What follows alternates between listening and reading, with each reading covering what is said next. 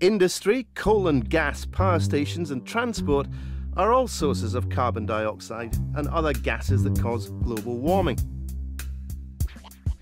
The Scottish Government has set ambitious targets to reduce the country's emissions year on year, with the aim of cutting greenhouse gases by 40% by 2020. That's compared to a base year of 1990. And they are already well on their way, with emissions 24% down since 1990, although much of this was achieved not by a deliberate green agenda, but by deindustrialisation. In 2010, the economy was as chilly as the weather, and usually recessions bring with them a decrease in greenhouse gases as people try to reduce bills in their homes and businesses. So it seems all the more surprising that the snow brought more than transport chaos in its wake. Well, the Minister for Climate Change, Stewart Stevenson, is in our Edinburgh studio. So, uh, Stewart Stevenson, the lesson from this seems to be we can't reduce climate change, uh, climate, uh, greenhouse gas emissions if there's a cold winter. Well, it was an exceptionally cold winter. It was essentially a year which had six months of winter, uh, uh, three, three and a half months at the beginning of the year, two, two and a half months at the end of the year. It was uh, the coldest uh, respective period since uh, 100 years ago. Yeah, right. But, so, but, but I, I run of them, and your climate change targets wouldn't be worth the paper they're written on.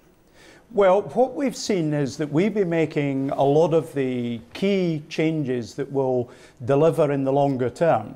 The latency period, how long it takes for the benefits to kick in of, for example, raising the number of houses that are, meet uh, energy efficiency targets, uh, standards by 7% uh, over the, the year 2009-2010. That's big increasing tree planting by 50% by 2009, 2010. These are all the actions that a sensible right, but, government but tackling climate change fine, but there's something even bigger, isn't there, which is that um, uh, there was a sharp fall in the, in the year before the one we were talking about because we're in the middle of a recession. You would expect there's been a fall in, I think, world greenhouse gas emissions because of the recession.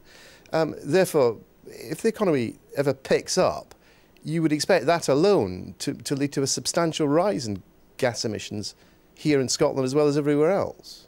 It's a fair point you make, but what we've actually seen in 2010 is that we have moved further ahead of our colleagues elsewhere in the United Kingdom while simultaneously having higher levels of employment. In other words, where the actions of the Scottish Government have ensured that we've been less hard hit by the recession than has been the case south of the border, and yet we've increased the gap uh, with the rest of the UK. And I think that in part, substantial part, is down to the actions we've been taking, many of which deliver the benefits for the climate change agenda over the longer run. Whereas weather is something that is immediate, happens now, right. and you, you can predict against averages, you can build in allowances for worse than average weather.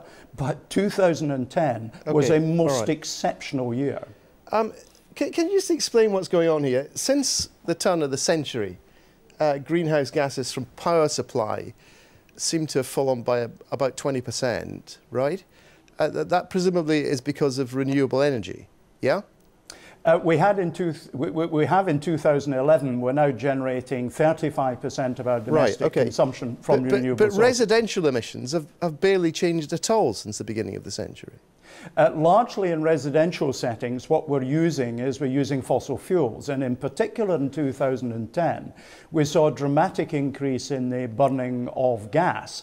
We already know that in 2011 for the United Kingdom, the amount of gas being burnt in domestic uh, set, uh, overall has dropped by a quarter. And that illustrates precisely the very rapid response there was in 2010 to the very serious weather conditions that we experienced and the reliance that we continue to have heating and office heating on gas, which is, okay, of course, okay, a greenhouse gas emitter. fine. Uh, business emissions have gone down very sharply since 1990, which is when you choose to start your base period from. That is according to your own documents, largely because Ravenscraig closed and a nitric acid manufacturing plant in Leith moved to Ireland, where it's presumably producing just as much uh, carbon dioxide as it was as it was here. Um, so we, have had a fall on that, but it's got nothing to do with anything to do with government policy. Um, we've had nothing happening in in in, in households, and we've had, admittedly, a, a fall in power, in, in, in, power supply, but that's because of renewables. Uh, so where do you get your other half of the emissions falls that are in your targets? Well, let, let, me just say the 1990s, the Kyoto Protocol international standard, so we all compare with each other. But in, in households, we saw between 2009 2010 a move from 55% of households that met appropriate standards for energy efficiency to 62%. 7% in a single year is a very substantial increase. And of course, it, that it's not really showing in up in the term. figures, though, is it? Well, that's precisely my point, that you make these changes uh, over the course of a year, very significant changes indeed, but the period in which they start to feed but, through but, to your you figures answered, is longer. Fine, you haven't answered my question, which is that given you'd a big one-off factor because of Ravenscraig and this other thing, and I mean, it, what is the plan? You're going to have to, I mean, to get anywhere near your targets, you're going to have to close what, some coal or gas power stations? I mean, well, you're going to have to do something pretty radical. Well, let me say, of course, we've seen the figures go down every year of this century, apart from 2006, where they rose a bit. So we are on a trajectory that takes us to the 40%, uh, 42% reduction that we've set as our target uh, for 2020. And the actions we're taking in forestry, in housing, the huge investments we're making in the railway system to get more people to commute by rail, electrification of the rail network. The number of activities we are oh, taking is okay. very substantial and will deliver in the long term. All right, Stewart Stevenson, thanks very much indeed. Well, the Scottish Greens Patrick Harvie is here in the studio. What do you make of this explanation? It was very cold. Well, I'd love to have been sat around the cabinet table when jaws were dropping as ministers were given the revelation that sometimes in Scotland we have cold winters. You know, we've known for a very long time that when there are uh, cold winters, emissions will go up. To be fair, hang on. If, let's just think back. In 2010, the winter of 2009-10, it was cold right into March. And then it started, if you remember again, really early. I mean, November and December were some of the coldest months we've had in, in, in years. So it's, it's not completely unreasonable. It's clearly been a cold winter, yes, but cold winters will happen. And, you know, what we need if we're, if we're going to be ready for that kind of thing, if we're going to be able to achieve carbon reductions in the face of cold winters as well as milder winters, is a massive programme of investment in the housing stock so that people don't have to pay through the nose to the big energy companies. So do, do you not buy Stewart Stevens' argument that their figures are, are on track to get to where they, they want to get to? I mean, even, even that figure, although it went up in 2010, there was a big fall the year before, terrible recession, um, even though it went up, it was still lower than, than, than two years before that. There was a fall in the previous year due to economic circumstances. There's a rise this year, I would say, due to inaction. A few years ago, a good few years ago, you may remember we had to vote against a very controversial budget when the government, even after months of pressure, not just from us, but from a huge range of other organisations, refused to commit to the national programme of investment in the housing stock that we need to see. We've only just in the last month or so finally got the government to agree to a programme along those lines. If we'd had that in place years ago, we'd have been a lot further forward. We'd have been reducing our energy bills in the face of a cold winter and reducing our carbon emissions at the same time. Do you think, I mean, look, when it comes to falls in emissions, there was a big one-off factor because of the closure of Raven, Ravenscraig and some other closure of some other industry when everyone in Scotland goes, oh, we're terribly good on renewable power generation, that was very largely as well because we had hydro uh, before we started putting up wind turbines. If you strip out these factors, do you think Scotland can really claim to be the paragon of virtue in these matters that, that it generally does claim to be? I think there are two things that we need if we're going to claim to be progressive on climate change. One is ambition, and that ambition has been shown not just by the SNP government, but by the whole Parliament in adopting radical agenda on, on targets as well as a climate justice no, I'm program. just curious, but though, the second if, thing you if need you agree, is the program of action alongside, and okay, that's what's been but missing. I, no, I'm just curious about where we are now. If you strip these special factors out, do you think that makes a substantial difference?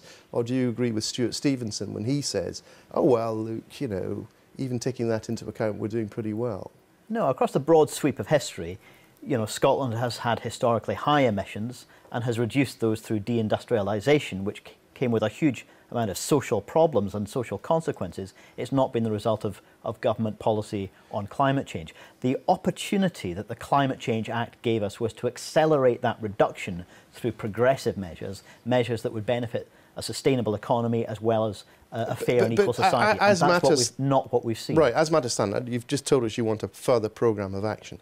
But this goal of over 40% reduction uh, by 2020, um, do you think that can be achieved without taking the kind of further action that you want?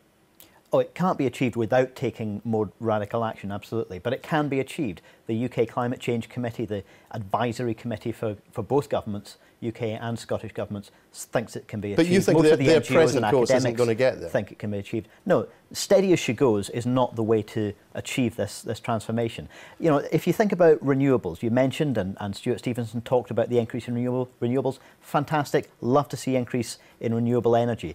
But that's to provide energy. It doesn't in itself cut emissions. Burning less fossil fuels cuts emissions, and we need the renewable energy to come in to replace that. And Stewart Stevenson just accepted that we see an increase in gas burning, and his government is committed to supporting uh, another 50 years of oil and gas extraction. They want to squeeze out every, every last drop of fossil fuels. We need to be shifting away from fossil fuels, not okay. just adding renewables into the mix. Battery